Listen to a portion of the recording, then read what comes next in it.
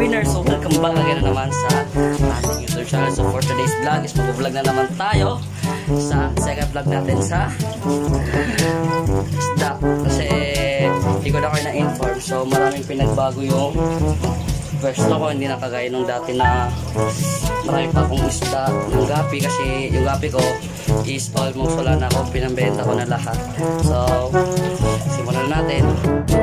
So guys, um, so naalala nyo dito sa tank na to is dito nakalagay yung aking white card koi. So, mga ano na to sila, mga bago na to siyang koi. So, ang iba dito is kasi 14 pieces, ay 17 pieces to sila lahat eh. Eh kaso nagkasakit sila lahat. Bali ito na lang yung natira. So kasi dinipat ko na yung malaking koi ko dito kasi malita sa kanya enclosure.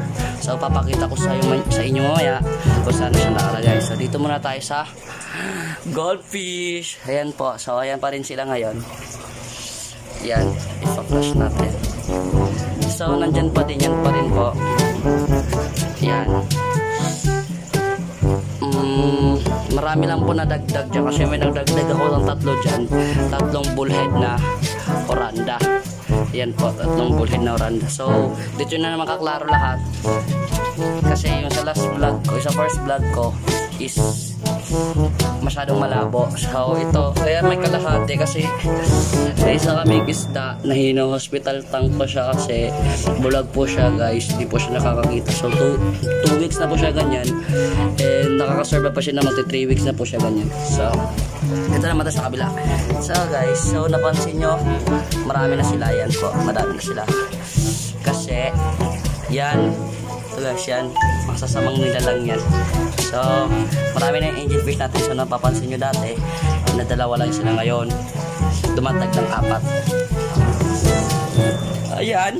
Ito, bagong ano ko to. Isang molly na balon. Balon molly. Yan. Balon molly. Tapos ito rin. Cebu, hindi ko pa masyado alam kung ano mga ano na ito breed kasi yan din so yung last vlog ko puro white molly lang kasi halos lahat ng white molly ko namatay. Na toxic dun sa tubig nila Wala kaming pakialam! so ayan. Ayan po sila. Dito tayo. Yan na po yung short tail ko.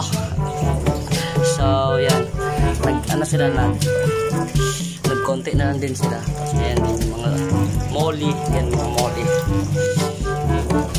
Tapos papakita ko na sa inyo kung saan nakalagay yung koi. Ayan na siya guys. So ayan po yung enclosure niya.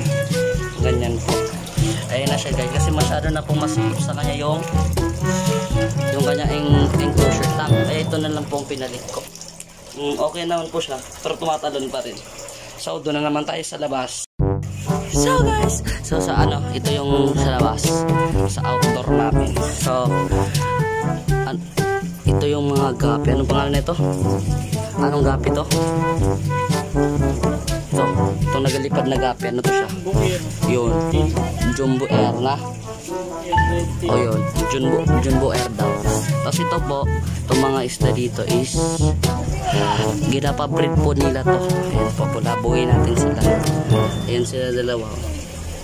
So ito ayan po yung mga fry ng molly tapos alin, yan din po nasano na din yan? Na kinapabreeding din po pati ito is ano din po to siya yung gabi. Ito rin. Tapos isa na lang din po yung beta kasi wala na din akong beta. Napapansin nyo wala na kayong nakitang beta dyan. Kasi nga binenta ko na yung beta. So dito ito yung nabili namin ng tag 5 pesos na balon molly. Ayan po sila. Sige. Yan tapos ito yung mga halo kasi ito yung mga 24k tapos mga ano jumbo molly o mga jumbo molly tapos nahaluan na din ng ano ng balon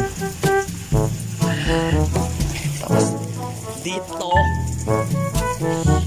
Mga gapi na to sila lahat. Yan. Yan mga gapi. Hindi ko alam anong mga strain nito. Basta gapi yan sila lahat. Natin yung mga. Sa kabila na naman, ito tayo sa kabila. Mga ano dito siya, mga balloon molly din siya eh. Yan. Ayan siya, mga balloon molly. Tapos, yung mga tanim, mapapansinin niya kasi, ito is lotus plant ata to tapos ito sa baba is kabomba plant ito water plant tapos ayan po nagpapadami pa po kami ng ng ka, ng lotus plant tapos ayan po yung setup dyan lang po pati ito. Yan din po yung setup. Tapos ayan sila guys. Tapos tapos pa ako kung yung pansin yung pangatlo na kaputi so yun po. Ipakita ko siya lahat. So maraming pinagbago marami ding nabawa. So guys so nakita nyo na lahat is marami pong pinagbago marami din pong nabawas so yun po yung second vlog natin. Sana gusto niyo po yung vlog ko. And don't forget to subscribe my channel click the notification bell para updated kayo sa aking mga bagong videos. So let's move on. Bye! Yeah.